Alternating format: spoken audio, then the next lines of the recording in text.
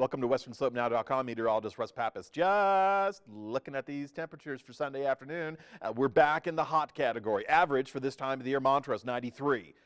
Actually, 93 is the forecast. The average is 90 degrees. Now, a record for today is at 100 degrees from 2010, so not really achievable when we're just barely pushing into the mid 90s. For Grand Junction, our average is 95 we're forecasting in the low 100s. The record also low 100s, 103.